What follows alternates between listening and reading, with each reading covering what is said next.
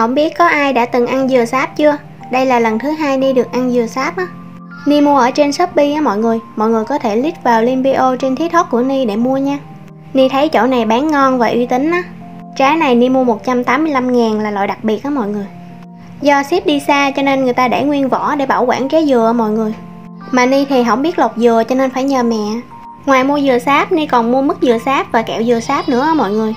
Ngày 15 tháng 4 này, Shopee sale nhiều lắm á mọi người, Cộng với free ship nữa, cho nên mọi người tranh thủ mua nha. Không biết đối với mọi người thì dừa sáp có ngon hay không, Còn đối với Ni thì nó vừa ngon mà nó vừa ngán nữa mọi người, Bởi vì nó rất là béo luôn á. Nhìn cái nước sền sệt nó chảy ra nè mọi người, Hấp dẫn ghê luôn á. Cơm dừa sáp vừa mềm vừa dẻo, Nhìn trắng phao luôn á mọi người. Một trái này mình có thể ăn được 3-4 người luôn á. Lâu lâu mình ăn thì cảm thấy rất là ngon luôn á, Còn nếu mà ăn nhiều quá thì sẽ rất là ngán mà nếu như ai chưa thử ăn á, thì hãy ăn một lần cho biết nha. Dừa sáp này nếu như mà mình để như vậy mình ăn á, thì nó sẽ rất là lạc nha mọi người.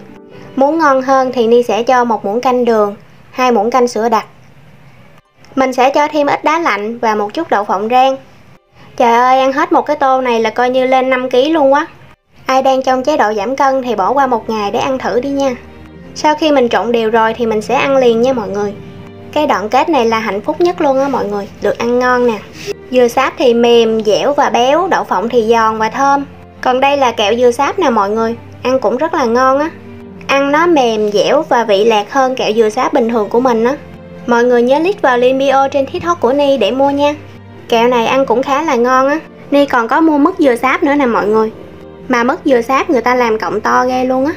Nhưng theo Ni cảm nhận thì mứt dừa sáp không có ngon bằng mứt dừa bình thường đâu mọi người mình cứ nghĩ mứt dừa sáp thì nó sẽ giống như dừa sáp, mềm dẻo và ngon hơn mứt dừa bình thường á.